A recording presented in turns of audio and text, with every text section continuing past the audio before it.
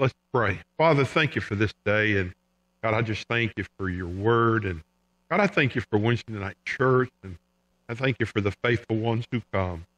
Lord, I pray that tonight you would just illuminate scripture to us. And God, if there's just one thought, one uh, prompting of the Holy Spirit, uh, God, I pray that we would listen. And God, I pray that we would obey. God, we just thank you for just what you're doing in our church. And God, it's just so, so good. Uh, we just come out of Thanksgiving and then just to go right into Christmas. What a beautiful thing. So, God bless our Bible study tonight and our prayer meeting. In Jesus' name we pray. Amen.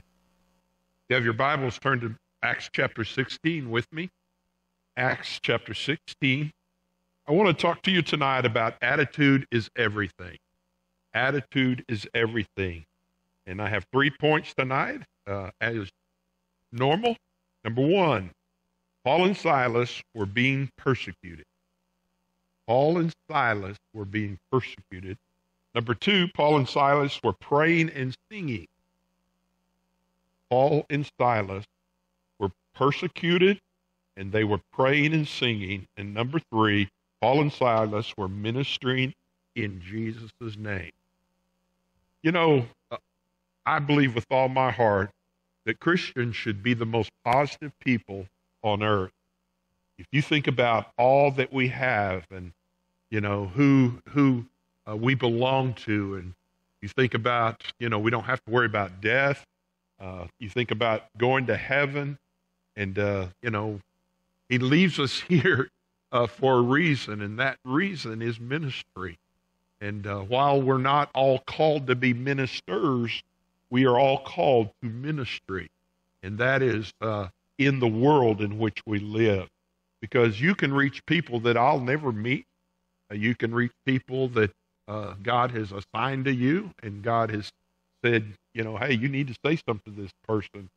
And what I'm trying to say is, we have influence on people around us. And so we need to be about our Father's business. And I just love this scripture. I love their attitude.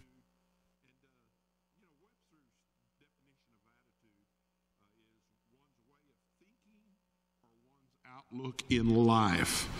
One's way of thinking. Are we, uh, did I hit something? Is it working?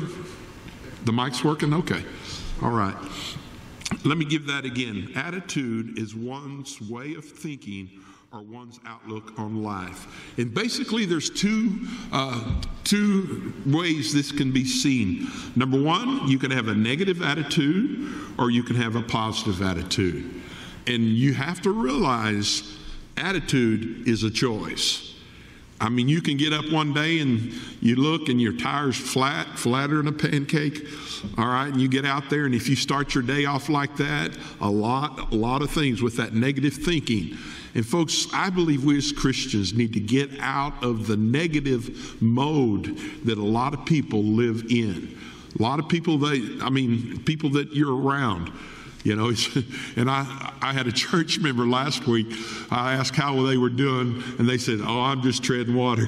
Of course, that's what I that's what I say, you know, and that's what that's the responses I'd get. So they were quoting me in what I'm saying. And folks, I don't care how bad your day is. Someone is in a worse situation than you. Okay? So we need to look at the positive things in life. And I'm not just talking about positive thinking, I'm talking about positive attitude. Okay? And that, that is a, a, a huge thing in our lives. Let's look at Acts 16, verse 16. Paul and Silas were being persecuted. Now, it happened as they went to prayer that a certain slave girl possessed with a spirit of divination met us who brought her masters much profit by fortune telling. And we know when it talks about the spirit, that kind of spirit, uh, it was demonic. Okay, there were demons. Uh, probably with this, uh, she was possessed by a demon. Verse 17 this girl followed Paul and us and cried out, saying, These men are the servants of the Most High God who proclaim, uh, proclaim to us the way of salvation. Now, if you look at that at face value, you think, well, she's doing a good thing.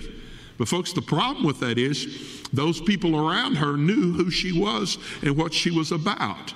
So you can say the right thing, but but that doesn't mean you know there's false prophets. Uh, and, and again, here there was definitely uh, a negative influence on uh, her and what she was saying, and this she did for many days. Because some people read this and just think, you know, Paul's a little impatient with her. So this has been going on for days and days. And there are even times, I'm just telling you, you can pray and you can pray and you can pray, and it seems like God is doing nothing. But folks, you have to understand God has a purpose in everything He does. The word here that we need to use is the word patient. Okay, when we don't, even when we don't think God is doing something, I promise you, He's doing something. But Paul, greatly annoyed, now they could have just said annoyed. But they used the emphasis greatly annoyed. He'd had enough. Turned and said to the Spirit, I command you in the name of Jesus Christ to come out of here. And uh, you know, Jesus himself uh, cast out demons, and he gave uh, the apostles you know, uh, you know, they, that that gift that he had, and it says, and he came out at that very hour. So the thing that was driving her, the thing that you know that she was just going over and, and over and over it, uh, came out the, the demon. But when her master saw that their hope of profit was gone, they seized Paul and Silas and dragged them into the marketplace to the authorities. And again, when it talked about seized, you know, uh, you know, it's it, you could say the word arrested there Okay, they wanted something done to Paul and Silas because of what was going on. And uh, the authorities there are local authorities. Verse 20, and they brought them to the magistrates and said, These men, being Jews, exceedingly trouble our city. And notice what they were talking about. First, you know, they were talking about their race, you know, who they were. Okay, and they pointed out they were Jews. And of course, there was the, you know, the city was under Roman law.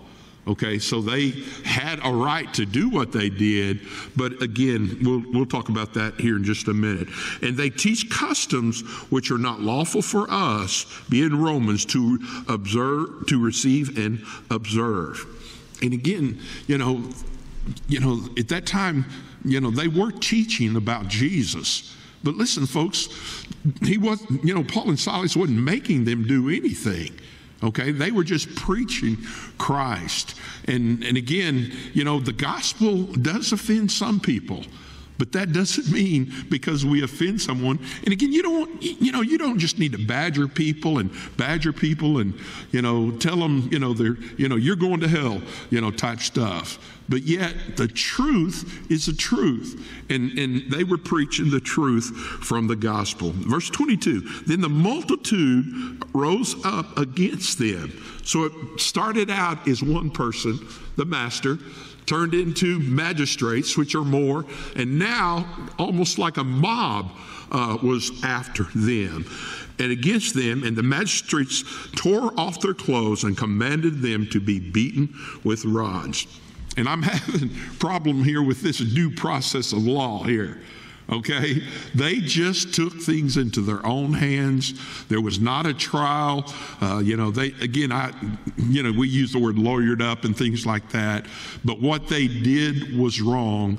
And, and, and automatically they said they were guilty. And when they had laid many stripes on them, Again, they did not know whether they were Roman citizens or not, which that would come up uh, later in this story. But not knowing that, it probably would have been 39 stripes. Threw them into prison, commanding the jailer to keep them securely. Having received such a charge, he put them into the inner prison and fastened their feet in stocks. So they went from preaching the gospel to jail in probably, uh, you know, a half of an afternoon or less. Okay, they were in jail, and they were not only in jail, uh, they were put in the inner prison, uh, and that's, you know, I don't know, we, we would call it, you know, some kind of security thing there where they couldn't easily get out. You know, 2 Timothy chapter 3, hold your finger there and go with me to 2 Timothy 3. And this is Paul talking later on. 2 Timothy 3:10. But you have carefully followed my doctrine, manner of life, purpose, faith, long suffering, love, perseverance, and persecutions and afflictions. And again, I don't think Paul is bragging here. Okay? He was just trying to tell the folks and telling Timothy specifically, who was, you know, uh, his mentor, Paul's mentor. And, and, and Paul kind of even called him his son, even though it wasn't a biological son. It would have been a son in the ministry. He's not bragging on what he went through. He's simply saying, These things have happened to me. And, and the word persecution there is the one I want you to see, and afflictions, which happened to me at Antioch and Iconium and Lystra, what persecution I endured. And out of them all the Lord delivered me. Folks, I'm telling you, God protected Paul, and he allowed him. Uh, Phil, you was telling all that he went through, and none of us will ever go through that in our own lives. But he is simply teaching that you're going to be persecuted. And the reason they were being persecuted because they were living the Christian life. So we should not be surprised when someone gets mad at us. We should not be so surprised when someone gets upset at us. All right? Because if you live a godly life, that's that's what the next that's that's what this verse is saying. Verse 12. Yes, and all who desire to live godly in Christ Jesus will suffer persecution. If you're living for Christ, it's going to happen okay? And we can't wear our feelings on our sleeves. We can't because even even Satan uses this. Okay, he uses the fear tactic at us. And, and we need to be bold in what we are saying and what we are doing. Okay? And and he said, listen, the closer you get to Christ, the more you're going to offend the world, is basically what he's saying. But evil men and impostors will grow worse and worse, deceiving and being deceived. Folks, the world in which we live in, I've heard this phrase just lately it couldn't get any worse. And you know what I want to tell them? You haven't read Revelation. Okay? It's going to get bad. Folks, it's bad now but it's going to get worse, and we need to prepare ourselves spiritually. Folks, what we're talking about with Paul and Silas, uh, we're talking about spiritual warfare. Every day of my life, I have spiritual warfare in my life. There is not a day that doesn't go by that I don't sense the presence. And again, it's not Satan, it's demonic things. But he's after those. And I'm not saying I live such a godly life, I'm saying I'm a big target because I'm a pastor because I'm preaching the word, because I will not compromise, I will not back down. Okay? So the closer you get, the more you're going to be persecuted. And I've seen I've seen Christians go the other way. When they get, you know, in this rim and man, they, they get real uncomfortable with it, they just shut down. Okay, they just quit talking. And again, I'm not talking, you know, just just being loud and being obnoxious and things like that. But, folks, the truth is the truth. So he says, But you must continue in the things which you have learned, being assured of, knowing from who you have learned them, that from childhood you have known the Holy Scriptures, which are able to make you wise to salvation through faith which is in God. So, what is it saying? Man, you need to know the Bible. You need to have some Scripture in your head. You need to be able to say, you, you need to be able to, you know, not necessarily debate but say, here's what the Word of God says. And not just quoting Scripture, you need to quote the reference also. okay? So that they can go look it up. And I'm telling you, some of them will. They'll see if what you're saying is the right thing. So, how do we battle Satan? We do it with Scripture. He hates Scripture. He doesn't want to hear. He doesn't like Jesus' name.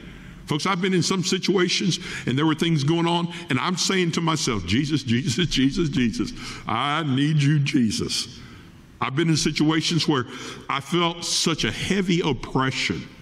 Okay, I wasn't scared, but I knew it was heavy. And you, ha- the, the, you have to use Jesus' name and you have to use Scripture. So Paul and Silas were persecuted. The second thing, back in our text, but at midnight, Paul and Silas, verse 25, were praying and singing hymns to God, and the prisoners were listening to them. Man, don't, don't you like that? You know, Paul and Silas could have been sitting there just saying, Woe is me. Man, all we were doing is trying to preach the word of God. Was trying to do is lead people to Christ. And this is what we get for it. All right? And, and folks, I am telling you, Paul and Silas had the right attitude. He had the right attitude. But at midnight, which is very, very late, they were praying and singing. Why? They had been beaten with rods, folks. They probably couldn't sleep for, you know, laying or sitting where they had been beaten. But instead of whining and griping and talking and, and, and doing the things that a lot of people do, they were praying. Folks, you cannot pray too much. I've never met a person, I have never met one, and after I talk to them, you know, I think you're praying too much. I've never met a person like that. Okay, most of us, and I'm including us, don't pray. I'm including me, don't pray enough. So what's what are they doing? They're praying. Okay, and you know what I think they were praying? God, give us opportunity. Give us opportunity. Even in this situation, give us opportunity. And then singing hymns to God. Man, there's just something about singing hymns in the middle of the night or singing hymns. And I've done it many a time. I do one of two things I sing them in my head, or I flick on and and I still got a, a Walkman that's probably 25 years old. And I, I, use the radio on that Walkman and I, I tune it into a K-Love. And there has been many a night especially when I was sick and there's just this battle going on you know in my head and and physically and uh, you know spiritual warfare going on. And I'd hear a song. I remember one night I heard I'll praise you in the storm I'll praise you in the storm. And there's other nights. Uh, Rescue Me was another one I can remember. And there were literally times in the middle of the night, tears were falling from my face because that song meant so much to me. And God sent that song in the timing of the song. So they were praying and they were singing hymns, and this is the key. And prisoners were listening to them. Folks, People watch you all the time. They're seeing how you react to things. Okay? And it's not when you're in a crowd how you react is the key. It's when you're one on one with something, or even, even when you're by yourself. Folks, people are watching, they watch what your actions, and you can tell when somebody's upset or mad. Okay, people try to hide their attitude, but I'm just telling you, most people can't hide it you can tell uh, they're kind of ticked off about that. And they were listening to them. And what was that? It was a ministry opportunity. Okay? They were literally ha- having church in the prison. And it says, suddenly there was a great earthquake, so that the foundation of the prisons were shaking. An earthquake. That was a coincidence, wasn't it? Not even close, folks. I do not believe in luck. I do not believe in coincidence. That was a divine appointment for Paul and Silas. You served me, they persecuted you. I'm going to give you the floor. I'm going to get you out of this prison. I'm going to take care of you. And it says, and immediately all the doors were open and everyone's chains were loosed. Notice this. First thing I thought, and I've, I've studied this and looked at it, why didn't he just do Paul and Silas's? They were the ones. I mean, the other ones in the prison, they probably were there for a, a reason. Okay? But what was the bigger miracle? What was God trying to get at? The salvation of many souls. Okay? And so everybody's chains fell off. And in my mind, I was thinking about that time, everybody would be hitting the doors and seeing how fast we can get out of there. But if, as you read, look what it says. And, the keeper of the prison, awakened from sleep, and seeing the prison doors open, supposing the prisoners had fled, drew his sword and was about to kill himself. Do you realize they not only saved a jailer's whole family, they saved his life? Because the Roman law was that if one prisoner escaped from prison, your life would be taken from that. And instead of going and being executed in front of everybody, he thought, man, I'm just going to kill myself and get it over with because I know what's going to happen. And then it says, But Paul called with a loud voice, saying, Do yourself no harm, for we are all here. Man, you talk about a testimony. You talk about having influence. You talk about a man doing the right thing. Folks, it's never wrong to do the right thing. And there are times for, you know, I'm, talking business things, in relationships. We could just go on and on. We as Christians need to do the right thing. And my question is why didn't those prisoners run? Because Paul and Silas didn't run. They stayed there. They trusted God. They believed that there was a bigger purpose going on in our lives. And again, you know, about the beating, Phil, I love what you said the other night, said Sunday night. And this happens to me all the time. All the time. Why? Why? Why? And you had such great insight on that. Instead of asking why, ask how? How can God get glory in this situation? And, folks, I'm telling you, we can make a difference in people's lives by our actions and by our words. Your normal group would have ran out of that prison and said, God did it for me. But not one that I mean, you look at that alone, that just blows my mind that nobody ran. But I believe it was because of the worship service that they were in. And I believe that they were looking at Paul and Silas and just thinking, man, there's something different about these guys. If they didn't run, I'm not going to run either. Folks, I cannot tell you how much influence you influence people that you don't even know you influence. When I went back to Lawton and I saw youth that I had not seen in almost 30, well over 30 years. Two or three of them just came up to me and just said, Brother Mike, you just, you just, you'll never understand. I was young, I was dumb, I made some big mistakes, but they just said, it got to where, as I got older, they would say, What, what, what did I learn? What did Brother Mike teach me? And folks, I'm telling you, we influence people that we don't even know that we influence. It could be a boss at work, okay? It could be a family member. It could be in a situation it, just like this, but it's just, it's a beautiful, beautiful thing. And, and that's what we do, folks.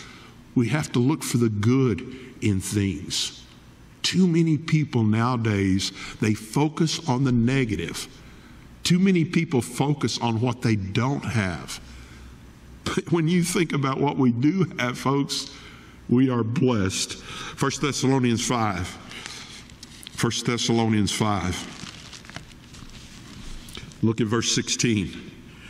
Rejoice always. All right? Folks, you, you, you have something to smile about. You have something to rejoice about. Rejoice always. Pray without ceasing. Okay, we're talking about attitudes here. Okay, we need an attitude of rejoicing. We need an attitude of prayer. In everything, give thanks. Thank God for the little things. The little things. For this is the will of God in Christ Jesus for you. Verse 19 Do not quench the Spirit. We must walk in the Spirit, folks. We must be led by the Spirit. We must be filled with the Spirit to have the right attitude. Do not despise prophecy. Folks, that's preaching. That's the Word of God. And do you know why lots of people don't want to go to church? Because they don't want to be convicted about their sin. So if I don't go, I don't have to deal with it. But, folks, if they see Jesus in us, if they see that abundant life, that, that positive attitude, that looking for the good in things, if they see you encouraging someone or you going the extra mile uh, for someone, I believe it'll influence them also. Verse 21 test all things. Just like Paul and Silas, man, I'm just telling you, it was a spiritual warfare. You need to be you need to be able to identify spiritual warfare, folks, and abstain from every form of evil. And that really is my life verse. I, I, I, I really like that. And, and let me paraphrase it. When in doubt, do without. If I think I'm going to make somebody stumble, if I think it may, may make Christianity any, any mark on Christianity, then I'm not going to do it, folks. I'm going to abstain. In verse 23, now may the God of peace himself sanctify you completely. What is everybody looking for? You think about it in life. They want peace. And folks, first you have to know the Prince of Peace to have peace. Okay? And then we as Christians need to be peacemakers. Okay? We need, and I know we can't fix everything, and I know we can't fix some people's attitude, but we don't have to get on their attitude train, is what I'm saying. You make a difference. You influence people around you. And may your whole spirit, soul, and body be blameless at the coming of our Lord Jesus Christ. That is all of you. He just said everything about you, your whole being. Again, we're not perfect. Yes, we mess up. And by the way, when we mess up publicly, we need to tell them publicly that we messed up. I'm sorry. I was wrong. Please forgive me. Folks, I'm telling you, if we would do that, if we would practice that it, as Christians, I'm telling you, uh, we, we would influence people. We, we could change a mindset and change an attitude. He who calls you is faithful, and who also will do it. And I've heard people say, "Well, I just can't do it. I, you know, I can't be nice all the time." But why not? Okay? Jesus, again, I know he was firm when he needed to be firm. I know he defended the faith. I know, you know, he, he was called a lot of names. But, folks, I'm just telling you, we need to do the right thing every time. Now, look at verse 29. Paul and Silas were persecuted. Paul and Silas were praying and singing. And, folks, the other thing, attitudes will always influence your actions. Attitudes will always influence your actions, and we need to remember that. Paul and Silas are still ministering. Then he called for a light and ran in, and this is, this is the jailer, and fell down trembling before Paul and Silas. I want to ask you now who was in control. All right? Well, some of you would say Paul and Silas, but I say it was God that was in control. God brought this jailer to his knees. Why? He just had a life changing experience because of the way Paul and Silas and their actions and their words and nobody leaving the place. Because, folks, I am telling you, his boss would have put him to death in a heartbeat. And he, and, and their actions and their attitude saved this man's life. And it says, and, and he brought them out and said, Sirs, what must I do to be saved? You know the question I have to ask? That, that's a question. But how would they know? How would he know this? Because Paul and Silas were not just singing, okay? I believe there was a sermon mixed in there too. I believe Paul and Silas was preaching to everybody. And again, we look at preaching like up here, I'm and I'm doing that. But folks, our life preaches a sermon every day. Our lives preach a sermon. You say, Well, I've never preached. Well, technically, no, but spiritually, yes. People are listening to what we say, people are paying attention to what we do. And he asked the questions. And the reason I believe he asked that is because he heard bits and pieces of the gospel. And folks, again, you know, you, you know, there's different types of gospel presentations. Some are just sowing presentations. God gives you the chance just to share some scripture with you, uh, with someone, and and and to just plant seeds in their life. All right. Every time you have a witnessing situation doesn't mean you know you you you press them. Okay. But I'm saying someone else will pick it up and you'll have another opportunity. And I believe that's what was going on here. He heard partial gospel, he knew something was different about these two. Folks, I truly believe when we walk into a room within five minutes, somebody should know that we're a Christian or we're not. We, they should.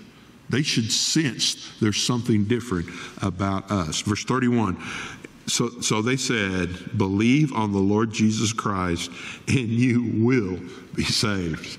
Man, don't you like that? He didn't say, you know, if you have enough faith, you might be saved. He said, Believe in Jesus Christ. Folks, that is a gospel presentation. Jesus is all over the Bible. Jesus had lived Jesus, and who not who who doesn't know? I mean, we don't know. This guy could have been present at the crucifixions of Jesus for all we know. He was a Roman soldier. So he's seen a lot of that. And, and so believe on Christ. They tell, tell them that, and it says, You will be saved, you and your household. And again, some people take this out of context that since this got saved, it was a blanket thing. Now, folks, it's an individual a decision that each of us have to make. And I, I'll never forget one night I was in Lawton and I had a, a family of five that visited our church. And I went out to their house, and the husband and wife were there. And I got, I mean, halfway through a gospel presentation, and one of the kids came in. So they said, Wait, wait, wait, would you start over? I, I, I want my son to hear this. And then about 20 minutes later, two of the other kids came in. They were all teenagers, and that was the reason why I was out there because I was a youth minister. And so they come in, the parents go, "Wait, wait, wait! Could you could you start over and do this again?" And when all was said and done, all five of them accepted Jesus Christ as their Lord and Savior, and I got to baptize them the very next Sunday. Folks, I am telling you, it is so important. Man, don't, I mean, when you see families that are saved, I mean, it's fine. Uh, one salvation, all of heaven rejoices. But when you see God change a whole family, I'm telling you, that's God, folks. That is God. Verse 32 And then they spoke the word of the Lord to him and to all that were in his house. Verse 33 And he took the same that hour of the night and washed their stripes. Why did he do that? Well, his mama probably taught him to do that. Well, I hope she did. but what was they, what did he realize? What they did to them were wrong. It was wrong. Okay, no no due process of law. They didn't do anything wrong. They presented the gospel. This this this demonic lady just kept bugging them and bugging them and bugging them. Paul just said, "You know, I've had enough." And folks, the only reason the owner did that was because he was going to lose money. Okay, his money making deal was gone. But Paul was persistent, and Paul did the right thing. And this jailer washing their stripes, that I, I believe it was because of conviction also.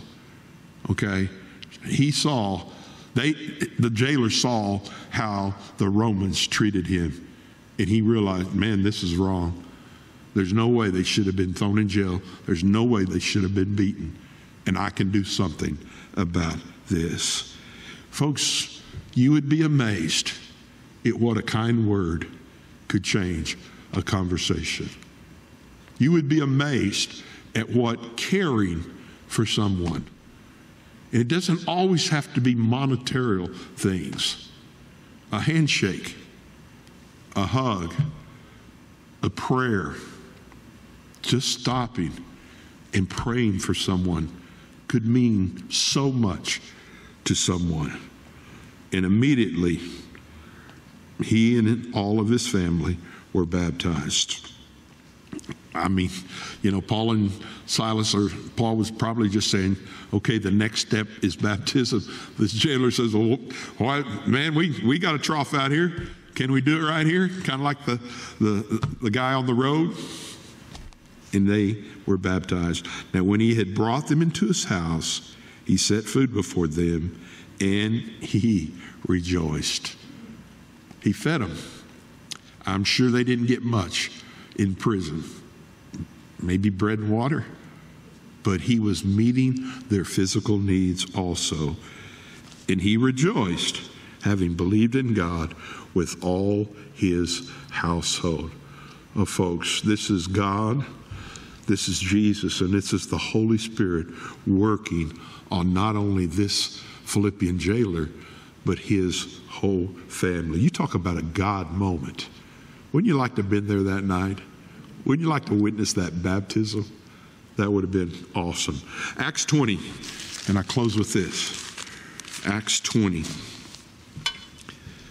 verse 17. This is Paul talking to the uh, elders at Ephesus. And it says, He sent to Ephesus and called the elders of the church. And when they had come to him, he said, You know from the first day that I came to Asia, in what manner I always lived among you, serving the Lord with all humility, with many tears and trials, which happened to me by the plotting of the Jews. Again, he just sharing with them and he was going back to these, these churches that he had started, and he was trying to encourage them in the faith. And here's what he was saying the paraphrase is I'm probably not going to be around here. I don't even know that I'll be back to this place. People are going to persecute you, people are going to say ugly things to you. People are going to, you know, uh, you know, mock who, who you believe in, and, and they're going to try to discourage you. Folks, I'm telling you, we lived in a discouraged world. And you know what? That phrase, misery, misery loves company, there is some truth to that, folks. But you don't have to go to their pity party. You don't have to go to their negative comments. Verse 20, how I kept back nothing that was helpful but proclaimed it to you and taught you publicly and from house to house. Paul just said, Hey, man, I, I, it was in the open, it was public. I wasn't trying to hide things. We didn't have an underground church. We preached from the housetops, testifying to the Jews and also to the Greeks repentance towards God and faith towards our Lord Jesus Christ. Folks, the only thing, the heartbeat of the Apostle Paul was evangelism. it was the gospel. And see, now I go bound in the Spirit to Jerusalem not knowing the things that will happen to me there, except that the Holy Spirit testifies in every city. Every city. What did he do? He preached the gospel of Jesus Christ. He preached it. The Holy Spirit was behind him, saying that chains and tribulations await me. Paul knew in his heart of hearts. I mean, his buddies and so many people tried to tell them, do not go there. Do not go. Do not go. But the Holy Spirit kept telling him to go. Look verse 24. But none of these things move me, nor do I count my life dear to myself, so that I may finish my race with joy and the ministry which I receive from the Lord Jesus to testify to the gospel of the grace of God. What is he saying? He's saying, they're not going to discourage me. I've read several times where Paul, when he was in under house arrest, they would let people come in and out, even though they, you know, he, he would have a guard there. Okay, he would lead. you know, that guard would be there for a while, and he'd lead one of them to the Lord, and they would be sneak. They would be sneaking things in to Paul even in prison, I think this happened a few times. But, but even in that, folks, I am just telling you, no matter what situation Paul was in, here's what I'm trying to say. He shared the gospel and he shared the love of Christ with everyone around him. And folks, that's what God wants us to do. All right? Just be nice. Be positive. Get to a get to a spiritual uh, you know, conversation. Get to, hey man, God, God can save you. Jesus can help you. Use your testimony. Folks, if you're saved, you have a testimony. And you can use that testimony uh, and you can be used by God to see someone saved. Folks, we don't save anyone. I've never saved anyone in my life. Okay? We're just the vessels, we're just the tools. We just lead people along the way. And folks, if you start doing this, I'm just telling you, there'll probably be eventually persecution, but don't let it bother you. God is bigger, folks. God is bigger. And attitude is everything. Father, thank you for this day. And God, I know really sometimes I, I know I'm preaching to the choir on Wednesday night. But yet, God, I, I just pray that you would just uh, help us to understand attitude is so important. And, you know, really, negative attitudes just, they just pull you down. Uh, they just get you thinking the wrong way. Uh, they even depress you sometimes. And God, I pray that we would not have negative attitudes, but God, I pray that we would realize who we are, whose we are, what you have done for us. And God, I just pray that our attitude would be positive. And I pray, Lord, that people could tell that we are Christians. God, thank you for this wonderful example of Paul and Silas. I mean, very, very few people would have done what they did. But I thank you, Lord, the, that you have shown us this. And God, even, even dear Christmas, I've heard it pretty much all my life. Some of the most depressing time of the years in December and Christmas. And God, I pray that we would be uh, just agents of joy. God, we'd be agents of encouragement. God, I pray, Lord, that we would just stop and, and pray for somebody when they said, Man, I'm concerned about this or I'm concerned about that, that we would just stop and just ask them, Can I, can I pray for you about that? And God, I know things will be better. So, God, just help us to, to look for divine appointments. Help us to realize the Christmas season is about Jesus. And God, where we can get our testimony in and the gospel in, I pray that we would do that also. God, just help us to have the right attitude in difficult times. God, your word shows it. It's not going to get better and better. But God, we have you with us. We have salvation. We have the promise of heaven. we have that you never leave us and you never forsake us. So, God, I pray that we would dwell on these things, the positive things of the Christian life. It's in Jesus' name I pray. Amen and amen.